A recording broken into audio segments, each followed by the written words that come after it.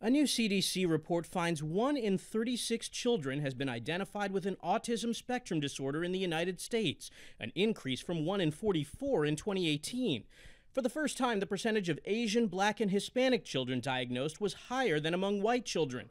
The research also suggests during the pandemic, some kids didn't get the early intervention and treatment they needed.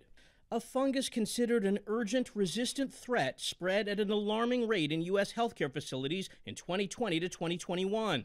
The new CDC report shows a concerning increase in cases of Candida auris with resistance to the most recommended treatment.